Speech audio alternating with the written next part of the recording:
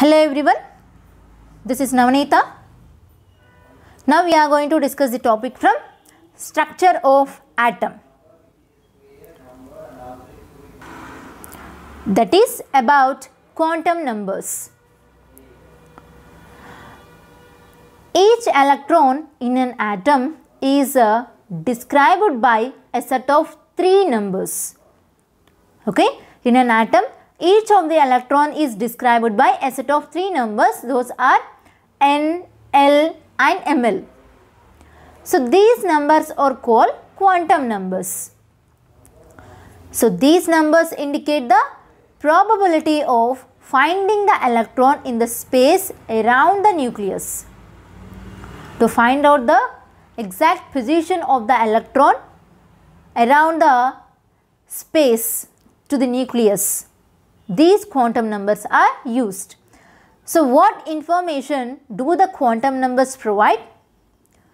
So the quantum numbers describe the space around the nucleus where the electron are found and also their energies. Okay.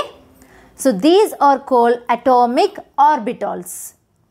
So by using of these quantum numbers, we can easily describe the space around the nucleus and where the electrons are found and also the energy of the electrons. So these are the atomic orbitals. So what does each quantum number signify? Here these quantum numbers signify the probability of finding electron in the space around the nucleus. So the first quantum number here principal quantum number. It is denoted with small n. So the principal quantum number is related to the size and energy of main shell. Okay, here the principal quantum number is related to the size and uh, energy of the main shell. Here, the principal quantum number is proposed by Niels Bohr. Okay, it is represented by small n. So here, n has positive integer values of 1 comma 2 comma 3. That means here n indicates number of the shells. Okay, n indicates the number of the shells. So here n equals to 1, 2, 3 like that. Or n indicates radius and energy of orbit. So as n increases, as n increases means we have n equals to 1, 2, 3, 4, 5 like that. So the shell become larger. So this is a n equals to 1, n equals to 2, n equals to 3, n equals to 4 like that. So here as the n value increases, the shells become larger and the electrons in those shells are farther from the nucleus. So here we have 1, n equals to 1, 2, 3, 4. So here as the number of shells increases, the electrons are also move away from the nucleus. So here in the last shell electrons are very far from the nucleus. Here as the n increases, here as increase in n also means higher energy n equals to 1, 2, 3, 4, 5 like that are often represented by the letters K, L, M, N, O like that. So for each n value there is one main shell. Okay. So here n equals to 1 means that is a K shell. This is the main shell for n 1 and uh, L shell that means n equals to 2 means that is L shell. n equals to 3 means that is a main shell of M. n equals to 4 that is a main shell of N. Right?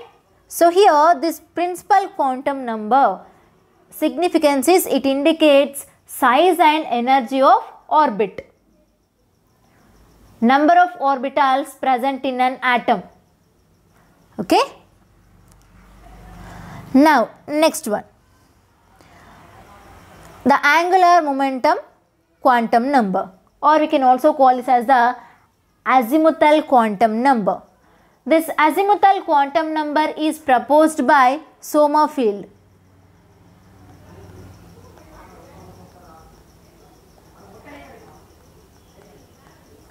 Okay, this is a Sommerfeld.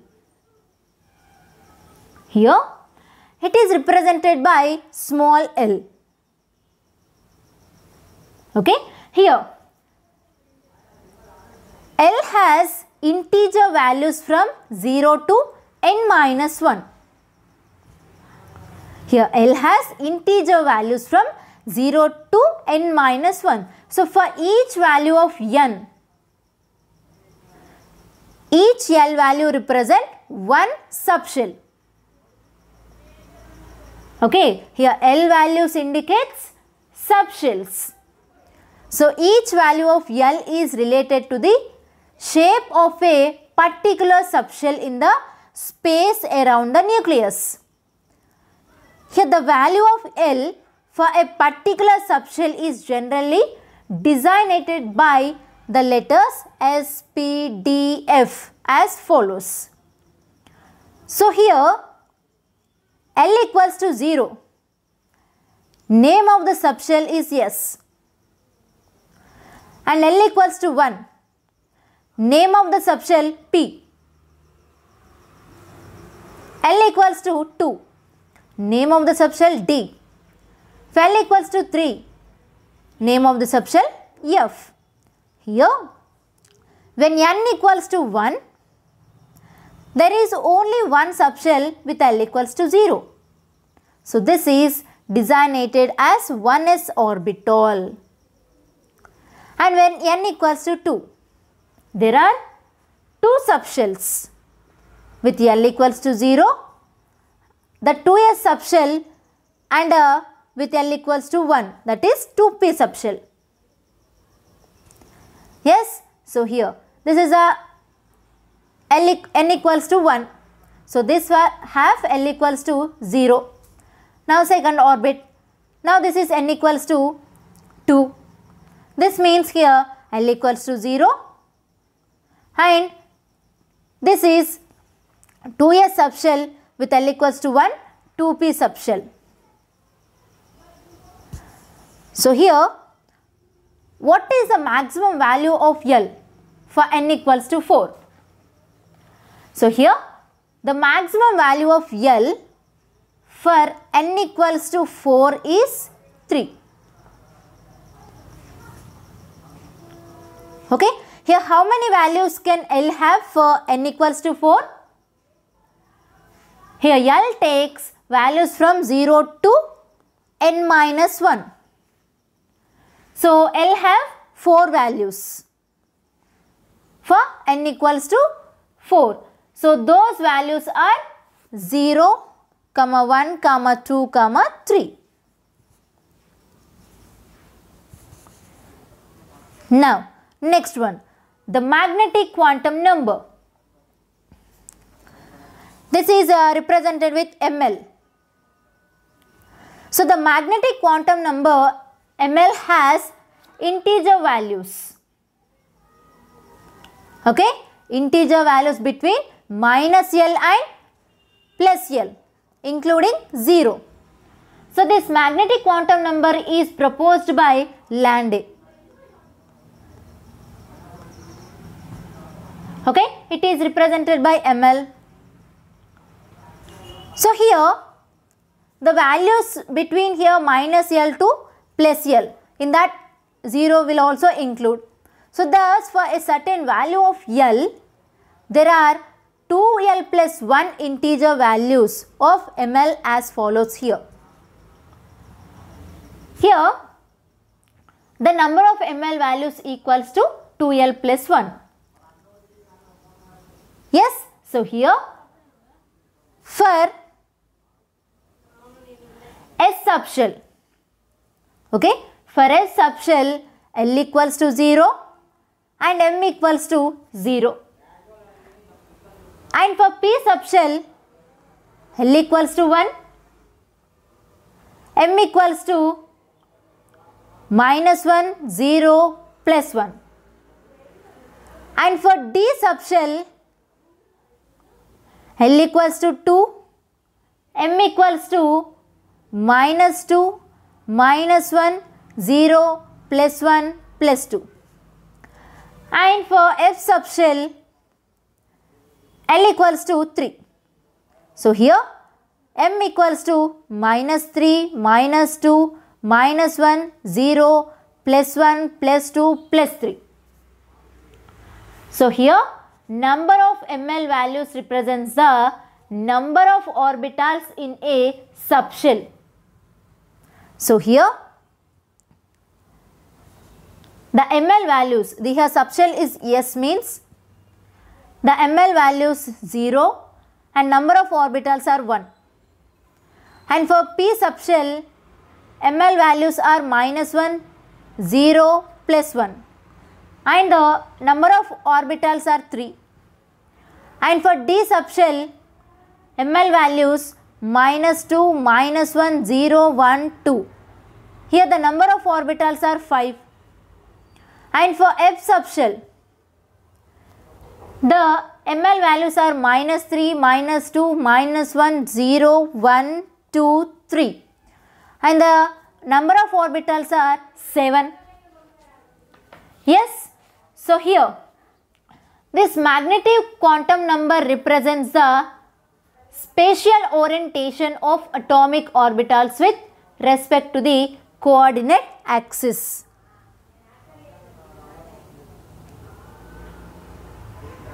Okay. So, we already right there only here the number of uh, degenerate orbitals for S is 1, for P 3, for D 5 and for F 7. Yes. So, this, this is the orientation of orbitals. So, here we already learned this. This uh, represents the shells, subshells and the number of or orbitals in the subshells. So, here this is the n, n equals to 1 and the L values, ML values, subshell notation and number of orbitals in the subshell. For n equals to 1, L equals to 0 means ML equals to 0, subshell notation 1s and number of orbitals in the subshell 1. Now n equals to 2. Here L equals to 0 we have and 1 also we have. So if uh, L equals to 0, the ML value is 0 and subshell notation 2s and number of orbitals in the subshell 1. And for n equals to 2, the L value is 1, ML value is minus 1, 0, plus 1 and subshell notation 2p and number of orbitals in the subshell 3. So like that for n equals to 3 and n equals to 4 also.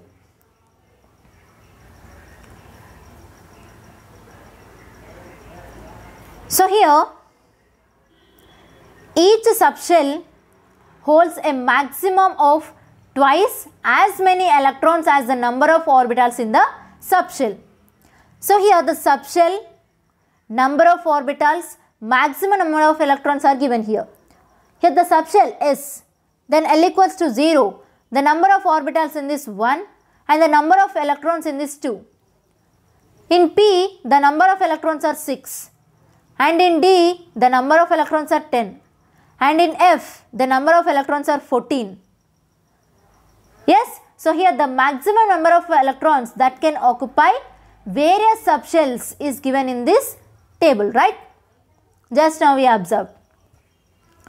And finally we have spin quantum number. This is denoted with ms. So the spin quantum number is proposed by Uhlenbeck and uh, Goudsmit. Here the three quantum numbers principal quantum number, magnetic quantum number and uh, third one we have uh, sorry second one we have azimuthal quantum number. So based on these three these three quantum numbers describe the size that means energy, shape and orientation respectively of an atomic orbital in space. So as we have observed in the case of street lights, sodium vapor lamp. Yellow light is emitted. So this yellow light is comprised of a very closely spaced doublet when when analyzed using high resolution spectroscope. So here alkali and alkaline earth metals show such type of lines. Alkali and alkaline earth metals means 1A group elements and 2A group elements. So to account for such a behavior of electron in an additional quantum number is introduced that is spin quantum number. So this represents the property of the electron. It is denoted by ms. So here this spin quantum number gives a electron spins around its own axis. Okay.